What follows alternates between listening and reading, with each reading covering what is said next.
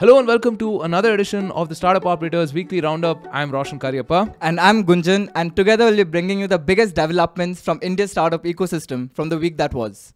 Awesome. What are we going to talk about this week, Gunjan? Well, uh, last week SEBI came down hard on finfluencers for spreading false information and manipulating some Long stocks. do. Long yeah, do. and apart from that, Meity also launched a new platform for uh, folks to address their grievances towards social media companies. Fascinating. Apart from that, Deepinder Goyal has resigned from the board of uh, Urban Company since uh, Zomato has started foraying into home services, home cooked meals, and, and other platforms. We'll be discussing that. Then Sequoia has launched its eighth cohort of the Surge program, trying to give a push to early stage and growth stage startups. And Nexus Ventures has, has launched a new fund of $450 million to again Wow. invest in early stage and growth stage companies in India. Awesome. So a lot of things to discuss, folks. Stay tuned. And folks, if you haven't already subscribed to our channel, please consider doing so so that more people like you can discover our content. And also share this video with your friends who you think will like it. So Roshan, how was the week for you? The week has been awesome. I don't know if you guys noticed the flashing lights in the background. I think we should put out an epilepsy warning or something of that sort. Yeah, I mean the the studio is getting slightly jazzed up now. Uh, hopefully, you know, with a little more budget, I mean, we'll be able to up the production quality. Uh, it's a work in progress. But yeah, a lot of positive news this week. Uh, Foxconn is uh, setting up or considering setting up a plant here. They're spending about $700 million, which is uh, really not a lot from a Foxconn perspective. But uh, more importantly, they're creating about 1 lakh jobs, right? Uh, which is amazing. You know, we talk about how India skipped the whole manufacturing curve and just jumped right into services. Uh, and manufacturing is something that you know we really have to develop the skill set right um, right now 35 40% of our population is employed in agriculture so we don't just need agri agri reforms we need manufacturing we need services we need all of those things to come together all those cylinders to fire as uh, my friend Nirav says right so i'm very excited about that Great. Well, and I think just before we started shooting, you were talking about, you know, the way reels and YouTube shorts have taken over our hmm. life, right? You don't know like where 30 minutes of your life has just gone by. yeah right? really. And while these reels were mostly geared towards lifestyle, cosmetics, and entertainment, recently there's been new category of finfluencers that has come up, which are giving a lot of advice on which stocks to invest in, which stocks to sell. Right, and SEBI has started cracking down hard on them. So on last Thursday, SEBI has barred 45 entities, which include some names from Bollywood, from uh, trading in the securities market because they were manipulating the share prices of two companies by uploading YouTube videos. Uh, they were uploading videos to kind of influence people into buying stocks of two companies, which are Sadhana Broadcast Limited and Sharpline Broadcast Limited, for lucrative returns. Now, how this usually works is by convincing people who really do not know much about financial products, because of course it's big words, very technical, a lot of jargons a lot of jargons. So people, I mean, and they're promoting as saying, "Hey, double your money in X days," right? And to the moon yeah, and people are pumping money into the stock, which raises the share price. And these people who are manipulating them, they offload the stocks and get, gain, a profit, right? And SEBI has decided they're gonna crack down hard. But this opens up a question as to like this opens up a debate between free speech as well as uh, propagating false information. So what's your take on that? See, no speech is absolute, right? There is nothing like free speech. Speech always comes with responsibility, right? There is this famous uh, quote by a judge who, in, I mean, an American judge who said, you know, what if you shout fire in a crowded theater, right? I mean, you do have to assume some amount of responsibility. And so I really expected the regulations to come sooner because all kinds of things were uh, happening on the influencer front, right? Uh, don't get me wrong. I mean, they definitely provide a lot of value. I think uh, you know for folks like me who's uh, who are uh, finance noobs, right? It is nice to understand some of these terms uh, uh, related to equities, investing, uh, and so on and so forth in a simple jargon-free language. But at the same time, right? I mean, I think they were also misusing the trust that some of the consumers and viewers had put in them. So, so it's uh, long due. And see, investing advice is regulated in India, right? You have to be a SEBI regi- registered uh, advisor uh, to offer financial advice. Uh, but these folks were, you know, it was a jungle raj out there, right? I mean, you you had all kinds of advice. But I think some of the bigger folks, whether it is like you know Rachana Ranade, There's or Pranjal Kamra, Rachana Ranade. I think uh, you know I've seen pretty much a lot of their content, and they are fairly responsible, right? Because obviously they have a huge audience, uh, and they're in it for the long term, and so on, right? So, so this is uh, this is long due, yeah. Yeah, and these guys, I mean, just to understand the scale of how many people they're influencing, if you just look at the number of subscribers they have on YouTube, Huge. some of them are like 4 million, 5 millions. Dude, you should see some of these Telegram groups and everything. Yeah, right? I mean, insane. This is so SEBI is right now cracking down on what's already out there. But there's so many of these internal WhatsApp and Telegram group, groups which are for members only. Yeah. And I'm sure a lot of you know information is peddled there as well. Yeah, it, it is. It is. I, I don't know, man. I mean, I, I just feel like investing is a long game, right? Uh, even if you don't really learn up all of the nuances, I mean, at least apply some basic principles. And I'm sure there are more than enough courses out there that can guide you on those things. All these sort of fly by night operators just take advantage of your greed, and uh, and this is just as old as time itself, uh, really. But let's take a step. Let's zoom out a bit, right, and not look in terms of content creators, but in terms of platform itself, hmm. right? Of course, we have heard a lot of stories of how social media platforms like Facebook, Twitter, YouTube, Instagram are kind of shaping up public opinion and influencing, directly impacting our lives by influencing us on who to even vote for, right? And not only in politics, if you look at how Facebook influenced people into believing that, hey, you know what, COVID vaccine is a way for the government to sterilize the population right? And not COVID. And like years back, when polio vaccine was a way of sterilizing the population, right? So it's a huge spread of misinformation. So to crack down on this, the Ministry of Electronics and Information Technology, or MIT, of India has recently launched an online portal for users to appeal grievance redressals by social media companies. Now, of course, this is a huge step to promote transparency and accountability to these large enterprises. But what do you think social media will look like in 2025? Do you think there'll be more sense of parity in how information is shared and what we believe? Uh, well, social media and regulations, two words that are really, really complex when you put together, right? Because, uh, you know, it uh, ties back to what you asked earlier, which is about free speech and responsibility and all of that. But see, social media today is just more than the days of, hey, I just ate a sandwich or I just watched this movie, right? It is a critical and integral part of one's identity. There are all kinds of nuances associated with that. So you just spoke about misinformation, but what what if you know there is an account that is uh, banned or deplatformed for you know some opaque reason, right? As can as has happened, you know, routinely. We've seen you know the Twitter files and uh, all of the stuff that's happened since Musk took over, right? Um, so I think these regulations uh, are necessary. They're really complex. So, I mean, good luck to whoever is drafting these regulations.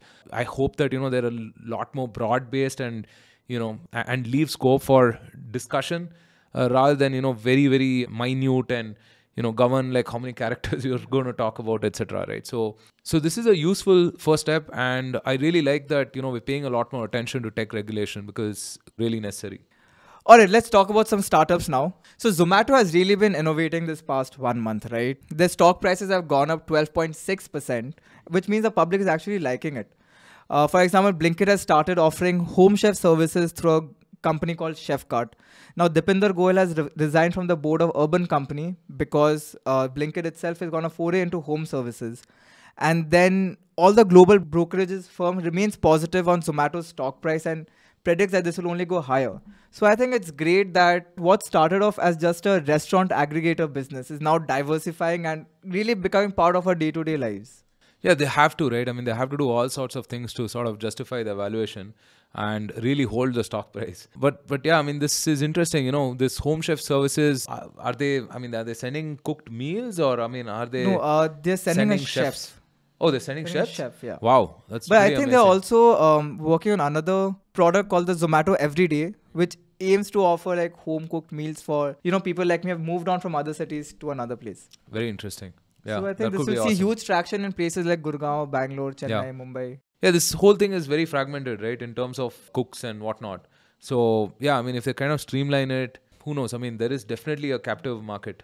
Okay, uh, so Sequoia uh, has this accelerator program called Surge, right? And they have had some, s- and through Surge program, they mentor early stage startups and also put in $1 million in, in investment to help these companies grow. Recently, they announced the eighth cohort. So right now, the community has grown to over 300 founders, 130 startups in 16 sectors. Right, and Sequoia Surge has produced notable companies like BharatPe, Dunzo, Khatabook, and Meesho. We're in the eighth cohort, and in this cohort, there are some notable companies like ASAP, which is an Indian edtech platform which provides career coaching to students. There is GudangAda, which is an Indonesian B2B e-commerce site that connects suppliers with small retailers. Then there's Haruka Edu, which is another Indonesian edtech company that offers online vocational courses. And lastly, there's OctoRocket, which is a Singapore platform that streamlines cross-border logistics for SMEs. So a lot of interesting startups from a wide variety of sectors. How do Yeah. you see Surge actually contributing to kind of push the boundaries for innovation? So Surge is a fantastic initiative by Sequoia, uh, and as you mentioned, uh, they started this about eight years back. And every batch, every cohort seems to have uh, you know fascinating startups, right? You mentioned uh, Bharat Pay, Meesho, Khatabook, and so on. Uh, yeah, I mean uh, this whole community has been awesome. They've been able to leverage uh, uh, Sequoia's institutional knowledge from having invested in you know some of the world's best startups over the last uh, maybe four or five decades now, right? So uh, it's great man. Anything that improves the odds of success for startups right is is just a huge plus one. And uh, early stage is where startups need the most amount of help So while it's true that startup investments in India has really declined in recent years, right? We've seen like post-COVID there was a huge surge, and then it kind of is hitting rock bottom. But then some early stage company will still require the funding, right? Because the founders are good, the ideas are good, and they have huge scope for expansion. Towards this, Nexus Ventures Partners, Nexus Venture Partners has announced a new fund called the Sixth Fund, and they have raised around 450 million dollars for it. Now, with this, they'll be investing in early stage startups in sectors such as enterprise tech, consumer tech, fintech, and healthcare. They have a really strong record for investing in successful Indian startups, which includes the likes of Delhivery and Academy, Postman. And they have these are one of the handful companies that generate Hasura as well I think. Hasura as well. These are the handful of companies which really generate the maximum returns for a VC firm. But when do you think the large scale funding checks will be back? Uh, well, the check sizes are definitely getting larger, right? I mean, we did this uh, last uh, roundup as well. I mean, you're seeing 20 million, 30 million Series A's right now. And look, Indian VCs are sitting on a lot of money right now. There's a lot of dry powder, but then it's not really being allocated because uh, people are just holding on, just just waiting and watching, right? I mean, how the market turns out. But they will have to deploy sooner or later. That's what I've been saying for a while now. Uh, and you will see this money come into the market for sure, right? So Nexus has a great team. We've had uh, Sameer Brij Verma, who's the MD of uh, Nexus, on the podcast, uh, and he was kind enough to do the podcast twice. Twice. After the first one, uh, you know, was wrecked because of some recording uh, snafu, uh, right? And uh, we've also had Anand Datta uh, on the podcast as well, who's a principal there. They've, you know, single-handedly, I think, encouraged and developed this developer tools market, right? Uh, Postman, Hasura, they have a good thesis on that. They have a good thing going there. Uh, so yeah, I mean, more money is always, you know, welcome. So, a couple of weeks back, Ashneer Grover on LinkedIn gave a sneak peek into his third unicorn, right? And given his stature and the sort of stories he's involved in, of course, this was supposed to garner a lot of media and public attention. Now, last week, he recently announced that his latest venture called uh, which is a cricket betting app, raised a seed fund of $3.5 million, which was led by ZNL Growth Fund, along with 28 other ventures and in angel investors. Now, if I were to just look at the timing of it, the IPL season will be starting soon, right? That means your online betting, your online fantasy games demand is gonna go up, and this also signals a growing online betting market within India. Yeah. So, how do you think that's gonna play up? And also, just one caveat here: we know Ashneer Grover only speaks dhanda, so Yeah. I'm sure there is some like merit into this. He's picked a very lucrative market, right? I mean, cricket and betting. I mean, there's a huge interest in both. We've seen how these uh, fantasy sports platforms have done, and uh, you know, India has a huge, large monetizable internet. Uh, right, and these sachet kind of services, uh, five rupees, ten rupees, fifty rupees, hundred rupees, they work really well. So yeah, third unicorn. I mean, that's a pretty interesting name, right? Kind of an odd uh, premonition, also. Who knows, right? I mean, it might Never become the third uh, unicorn for him after Blinkit and BharatPe. Yeah. All right, so moving on to our talk of the town section, where uh, Roshan Patel, who is the co-founder of Walnut, has uh, put out a tweet saying that he created a fake LinkedIn profile of a founder where he used an AI-generated white male face. The person is a alum of Stripe. He's a Stanford dropout and is currently going through Y Combinator. And also in his bio, he's written polymath, which means you're an expert in multiple subjects. Red flag. Now, within 24 hours, he had a VC reach out to him saying that, hey, I'm interested in what you're building, would like to invest. I don't know why this is surprising to a lot of people, right? I mean, people were replying to this, and even you know, folks who are really experienced with startups and so on, right? I mean, yeah, VC is a hard game, man. I mean, it's a really, really hard game. There are very, very, very few fundable startups out there, and so if you are a VC or an analyst or whatever at one of these firms, you have to chase uh, the next big thing, right? Uh, so yeah, I mean, it's nothing surprising here. And early stage, you have to bet on teams rather than ideas, right? I mean, ideas tend to change, and uh, ideas are only as good as execution. And the best bet you have that the execution will work out is the caliber of the team, right? So someone has been to Stanford, someone who's a YC alum. Obviously, the you know there's a certain credibility to It's them, right? pedigree. So yeah, there's a certain pedigree to it. So you can't ignore that. Uh, I I'll, I mean uh, I don't want to comment on the whole white male uh, thing, right? I mean I would definitely say, in my opinion, is that I mean if it was any other combination, right, in terms of gender and color with those credentials, I think you know they would have equally seen a uh, you know someone reaching out to them, right? I mean, let's see. I mean maybe they should A/B test that, but hopefully there are better things to do than that. Well, also it's been a while since we had someone from the VC side in our podcast. So yeah, whenever we I just realized that. yeah, We should perhaps have another investor on the podcast sometime. Yeah. it'll be interesting to like get his views on on this topic. Yeah, it'll be interesting to get some perspectives on what it is like to invest in 2023, right? How the markets are different, how the game has changed, and so on. Yeah. Yeah. So yes, with that we come to the end of this week's episode. A lot has happened in the ecosystem Yeah. uh, in the last seven days. And it's good to get back in the groove, right? Yeah. we had lesser cuts this time. Well, no comments. All right, folks. Uh, if you like this episode, then again, don't forget to click on the like button and also subscribe to this channel. And if you really, really enjoyed this, then share this video with your startup friends. Uh, if do follow us on our social media accounts on Twitter, we are at Operator Startup, and on LinkedIn, we are the Startup Operator. And if you like updates delivered straight into your WhatsApp inbox, then you also find a WhatsApp link in the description below. Do let us know how we are performing in the comments section, and Roshan and I will look forward to meeting you again in the next week. See you guys. And also let us know if uh, you want us to have one or two of your favorite founders on the podcast. Uh, yeah, we'll reach out to them and make it happen. Thanks.